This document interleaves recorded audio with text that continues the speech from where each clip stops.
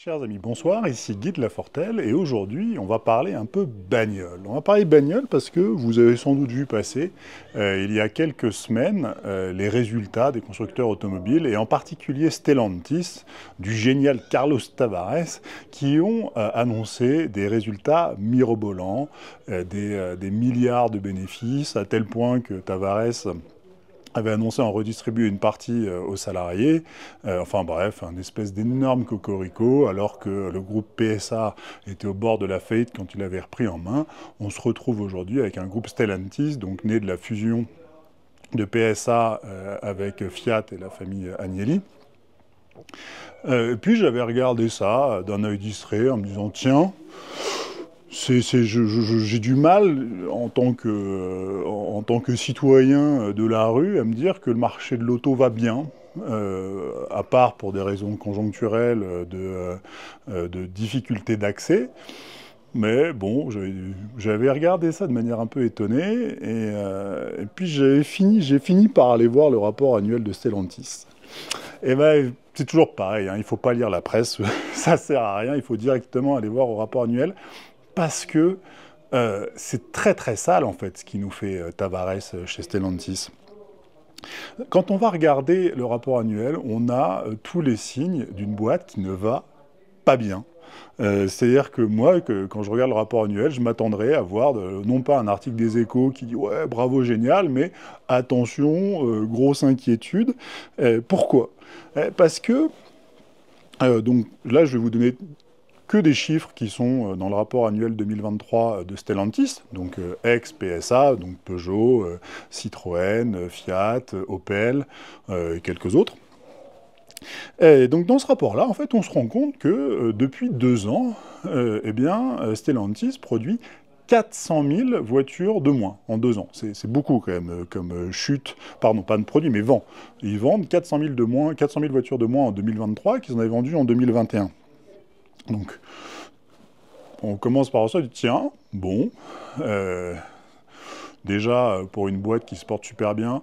Après, peut-être que cela vient effectivement des problèmes d'approvisionnement, peut-être que c'est pour tout le monde pareil. Sauf que ce n'est absolument pas pour tout le monde pareil, puisque, encore une fois, en deux ans de temps, la part de marché mondial de Stellantis, donc qui est le troisième constructeur mondial depuis la fusion, euh, est passée de 11,1 à 9,4%. Euh, alors vous allez me dire, c'est peut-être pas énorme. En deux ans de temps, sur un chiffre aussi large qu'un marché mondial, c'est pas bon. C'est-à-dire que vous ne pouvez pas vous permettre euh, tous les deux ans de passer, de perdre euh, comme ça un point et demi de part de marché. c'est pas bon, un, un point même. Enfin presque deux points de part de marché mondial, ça va pas du tout. donc tout de suite, ça veut dire que c'est pas uniquement que tout le marché vend moins de voitures. C'est-à-dire que pendant que Stellantis vend moins de voitures, il y en a d'autres qui en vendent plus. Euh, en l'occurrence, Volkswagen. Et surtout, ce 11, cette baisse de marché, en France, c'est carrément du décrochage, puisque là, on part de 35,8% de part de marché, on passe à 29,4%. Les marchés américains souffrent également très fort, euh, le marché asiatique, lui, il s'effondre avant même d'avoir décollé. Vous passez en Chine de 0,6% euh, de part de marché à 0,4%. Bref, il ne se passe rien du tout. Et, vous, les, seuls endroits où vous avez des petits coups de peau, ils arrivent à choper un marché en Algérie. La Turquie se porte aussi à peu près bien. Mais on n'est pas dans les marchés stratégiques, on n'est pas dans les marchés qui vendent de la voiture, qui vendent de la voiture chère et surtout euh, qui peuvent vous porter un groupe pendant longtemps. Donc en plus de ça, si vous enlevez euh, un truc très conjoncturel sur l'Algérie, bah, vous n'êtes pas très bien orienté à long terme. Vous ajoutez à ça que Tavares a coupé 15 000 emplois euh, en Europe, 10 000 euh, en, Amérique du Nord depuis deux ans, et euh, bah, vous avez une vision pas hyper rose du truc, surtout que bah, vous avez des très très gros problèmes qui ont été révélés sur les fameux moteurs PureTech de PSA. Alors c'était avant la fusion, donc là on parle de, PSA, et où là, il y a quelques semaines, on a fini par apprendre qu'ils faisaient une extension de, de garantie qui est normalement de 6 ans, on passait à 10 ans. Euh, en sachant que là, en quelques années, euh, le, moteur PureTech de, de, PSA, maintenant Stellantis, qui était censé être le roi des moteurs à essence, est en fait euh, un truc qui ne marche pas du tout. Donc, on est dans, cette situation, une pure situation de de, de j'allais dire, on trait la vache. Carlos Tavares très la vache, et ça se voit, parce que, bien évidemment, c'est pas ces chiffres-là qu'on vous a donnés euh, à la radio et sur les échos et dans votre presse. Hein, vous, ce qu'on vous a dit, c'est plus 4 milliards d'euros de bénéfices.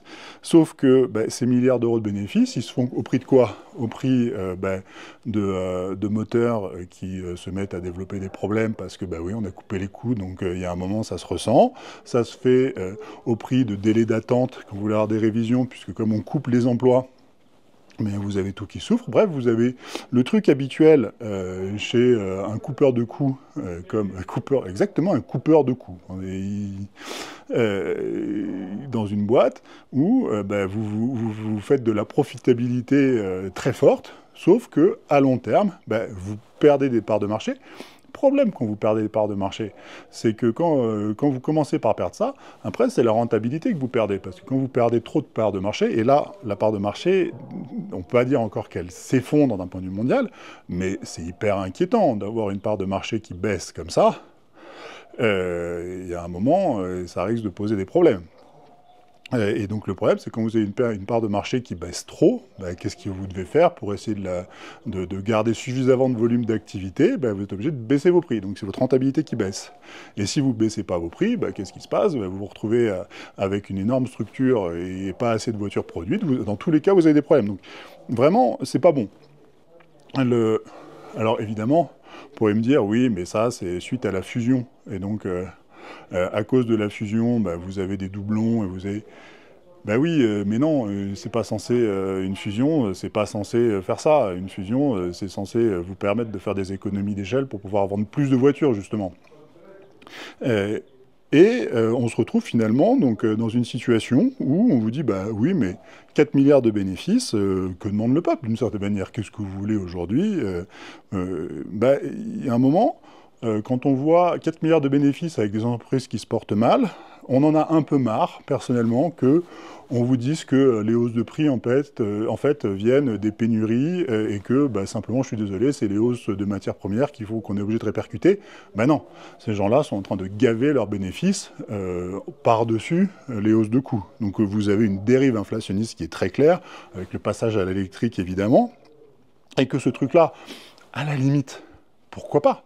Euh, C'est-à-dire que si vous êtes dans un marché euh, qui est un marché libre, qui se passe comme ça, et que euh, les, clients sont prêts à payer plus, sauf que le problème de ce truc-là, c'est que vous êtes dans un marché qui est subventionné à la pelleteuse par l'État, on dépense, quand vous avez jusqu'à 7000 euros de super bonus pour une voiture, c'est monstrueux le fric que l'on met pour nous forcer à passer à l'électrique. Donc ça, c'est un truc qui ne va absolument pas. Surtout quand le prix de votre voiture électrique augmente encore de 8% en 2023. Et euh, pour le coup, euh, autant euh, en 2022 vous aviez un choc, autant il y a quelque chose de totalement incompréhensible à ce que, bah, en fait, vous vous retrouviez avec l'État qui finance à fond une transition. Quand vous financez à fond une transition, c'est pour espérer que vous ayez un effet de masse qui fait que vous allez pouvoir baisser le prix de vos voitures. Donc si vous financez à fond, c'est que pour que normalement les constructeurs après puissent faire baisser les prix, vous puissiez retirer ce financement. Donc là, si euh, pendant que vous, vous financez à fond, euh, les, prix des voitures augmentent de 8%, comme c'est le cas en 2023, c'est une très très forte hausse, ça va pas. On n'est pas du tout sur la bonne voie. Et en plus de ça, vous êtes euh, avec un groupe qui, bah, évidemment, au moment où vous avez fait la fusion, vous avez changé le siège, et le siège maintenant est où? Le siège est aux Pays-Bas, et donc vous avez un paradis fiscal pour les entreprises, si vous n'étiez pas au courant, et vous avez un groupe qui paye 16,8% euh, de taux d'imposition, ça c'est le effective tax rate, c'est euh, combien est-ce que le groupe au total paye? En moyenne, il paye 16, il paye 16,8%, euh, ce qui est très faible. et donc, c'est un, un, moment, quand vous avez l'État qui a mis au pot pour sauver PSA, que vous avez des aides de ma boule et que, et que en plus de ça, vous avez de l'optimisation fiscale agressive, que vous coupez des emplois, euh, on commence à un ras-le-bol euh, que derrière vous ayez euh, du fric qui parte et qui revienne ni en emploi, ni en impôts, ni en rien du tout en fait. et surtout, le, gros coup de gueule, c'est que ça fait 50 ans que ça dure, cette affaire-là.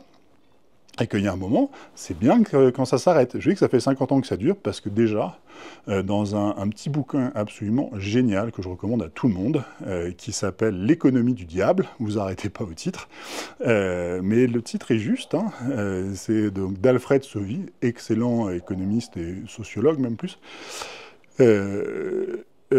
Alfred Sauvy, euh, vous explique, il a un petit chapitre euh, au titre absolument génial qui est Les maisons payent pour les voitures. Là, on est, il me semble que ça doit dater de 1972, j'ai plus la date, pardon, j'aurais dû vérifier.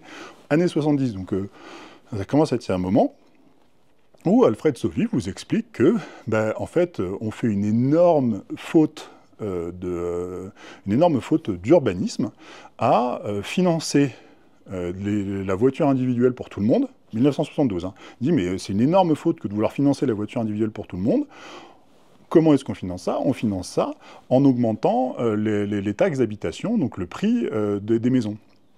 Et il dit, ça c'est une énorme faute, parce que comme vous augmentez le prix des maisons, eh les gens sont obligés de s'éloigner des centres-villes, des centres de production, de là où est le boulot.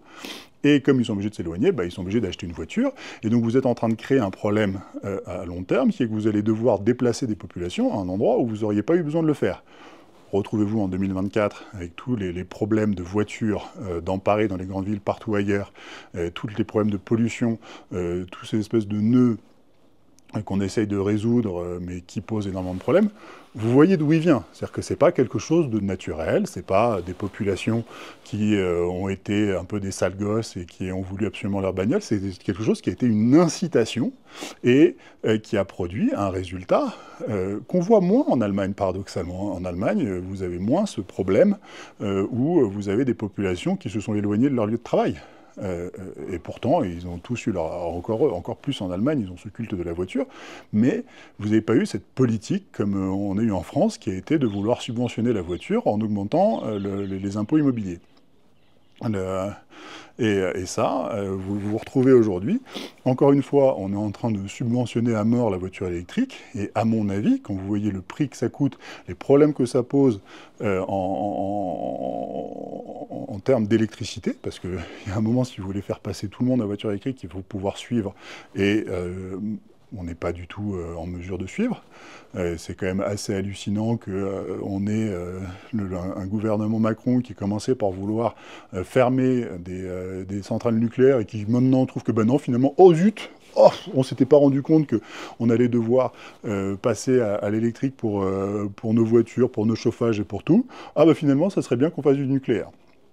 Et surtout, le plus gros problème dans tout ça, c'est que plus largement, on perd aussi des parts de marché, mais plus grave encore, c'est-à-dire que le passage à l'électrique euh, fait passer la production, parce que Stellantis, vous achetez une Peugeot, machin, mais ça ne vous dit pas que le truc est construit en France. Et pourquoi? Ben Parce que pendant qu'on ferme des usines d'injecteurs en France, on ouvre des usines de batteries en Allemagne. Alors évidemment, Emmanuel Macron a fait sa grande vallée de la batterie dans le Nord, sauf qu'il arrive avec 10 ans de retard. Pendant ce temps-là, euh, les méga-usines de batteries euh, chinoises et Tesla, tout ça, c'est en Allemagne. Euh, et nous, on arrive avec beaucoup de retard. Et oui, on vous fait des grandes annonces sur la de la batterie, sauf que ce qu'on ne vous dit pas, parce que ça c'était l'année dernière, Emmanuel Macron avait fait l'annonce d'une giga, euh, giga usine de production de batterie, regardez, on rattrape le retard. Sauf que juste après l'annonce, 15 jours après, qu'est-ce qui se passait? Ben, Vous aviez tous les, les, participants à cette grande vallée de la batterie qui étaient en réunion pour dire attendez les gars, nous, on n'avait pas compris, euh, on a besoin d'avoir euh, un petit peu des engagements de l'État en matière de coût de l'électricité, parce que, évidemment, ça demande beaucoup d'énergie de construire des batteries, ça demande beaucoup d'électricité, avant même de la recharger. Et ça, si vous n'êtes pas capable de vous engager sur euh, un prix du kilowattheure à long terme, bah, nous, on n'est pas sûr qu'on va rester. Et c'est là où on se fait couillonner, mais à plein, c'est que nous, on est censé avoir une électricité deux fois moins chère, deux fois moins chère que les Allemands. Donc normalement, tous les producteurs de batteries, ils devraient se ruer en France. Sauf que comme on a perdu notre souveraineté en Europe, on n'a plus aucune, que Macron a réussi à détruire ce qu'il, le peu qu'il en restait, et que bah, désormais, notre électricité, elle est envoyée en Allemagne, euh, les, Allemands ont fait une mainmise euh, sur le nucléaire français, qui est en train de se traduire. Vous avez des nœuds de, de, réseaux qui ont été, euh, des interconnexions qui ont été encore, encore créées. Et d'ici quelques années, alors excusez-moi, j'ai plus la date précise en tête, l'électricité des réacteurs nucléaires français ira aussi bien à Francfort qu'à Bordeaux ou ailleurs. Et ça, vous le saurez même pas, et c'est comme ça. Et surtout, si encore on vendait ça au prix de marché, ça serait génial. Sauf que c'est même pas au prix de marché, c'est encore encadré par l'Union européenne, qui, euh, en gros, est aussi, elle aussi en train de nous traire. Donc vous avez aujourd'hui euh, une situation dans laquelle vous avez ce groupe qui dégage des milliards, mais qui vont aux actionnaires, qui vont à la famille Agnelli, à la famille Peugeot, à BlackRock, à la BPI. Vous avez la banque publique d'investissement qui, au milieu de tout ça, est très contente, applaudit des deux mains, voit pas de problème. Euh, et euh, vous avez des usines qui continuent de partir. Pendant, encore une fois, vous fermez des usines d'injecteurs en France pour ouvrir des usines de batteries en Allemagne. Le passage de la voiture thermique à la voiture électrique, dont d'ailleurs Carlos Tavares euh, a mis beaucoup, beaucoup de temps à, accepter, que Carlos Tavares a mis beaucoup de temps à accepter, il n'en voulait pas au départ. Et c'est pas pour rien qu'il n'en voulait pas. Alors il a fini par s'y mettre contraint et forcé, mais on est très en retard, et c'est sans même parler des modèles chinois. Là, vous avez Xiaomi qui euh, fait les téléphones, qui euh, a présenté, euh, ces, voitures électriques, vous avez les, modèles chinois qui arrivent, on ne va pas rattraper ce retard-là.